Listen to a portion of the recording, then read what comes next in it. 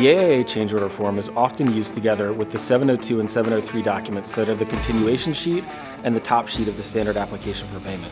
You want to fill out your payment application documents as accurately as possible to avoid payment delays. In this video, we'll walk you through each section of the AIA change order form so that you can get all the details right. A change order is a document that changes the scope of the work on the contract. It can add items or reduce items from the scope of work, and construction projects rarely go according to plan, as you all know. Change orders give all the parties the flexibility to make changes as they come up without rewriting the contract. Remember, the work you do isn't nearly as important as the work that you document. If someone on the job asks you to do work that's different from your contract, ask for written confirmation. If you're using AIA documents on the project, that'll be this change order form. The 701 change order form requires a fair amount of accounting and documentation to be sure that numbers match up with everyone else's.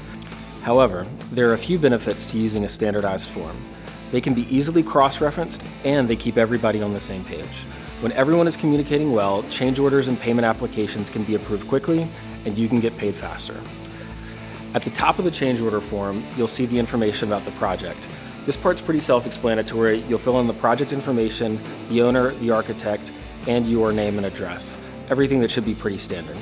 Next, you put down the change order number and the date of the change order under change order information. So if this is your first change order on the job, you want to put down 001. This, over time and additional change orders, helps keep track of what happened when on the project and when the scope changes happen. The next section of the form begins, the contract is changed as follows. This is where you put a detailed description of all the changes to the original contract. Make sure to include all the details of the proposed changes and the cost of each change. It's important to be specific in case there's any dispute later about what the scope is or when payment is due. The best practice here is to include any and all supporting documentation that could go along with this change order. That may include drawings, specs, and any other attachments, communication, or requests that fit within the change order. Once you're done describing the changes, it's time to get to the nitty gritty. The following section will provide the details of all the previous accounting values and how the change order will affect the contract price. This form works for contracts that are either lump sum or guaranteed maximum price. For the purpose of this video, we'll assume that you're going to use lump sum. When you're filling out this form on your computer, you can either select one of those options, or if you're doing it by hand, you can cross out the ones that don't apply to you. Let's start with the first one, the original contract amount. This is the original contract amount for the work from the beginning of the job. This number will be the same throughout the project, no matter how many change orders you write.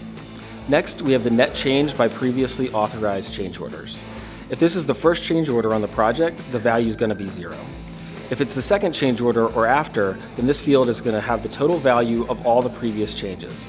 Remember, this can be either positive or negative change, as some change orders are deductive change orders. Now, let's look at the contract sum prior to this change order. To get the right figure here, simply add the two lines above this one. The figure is the total sum of the original contract value and the net change by previously authorized change orders. If you have the previous change order handy, the amount in this section will match the new contract sum from that prior document. The next line says the contract sum will be increased, decreased, or unchanged by this change order in the amount of blank. This is where the total cost of the current change order is written.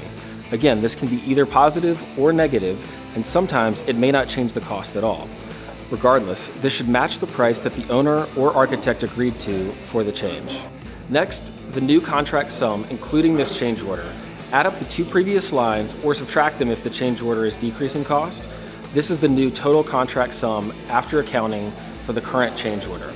The next line says contract time will be increased, decreased, or unchanged by X days. Here, you'll need to add how the change order will affect the performance time in number of days. In other words, how will the changes affect the date of substantial completion? Will you finish sooner? Will the work take longer?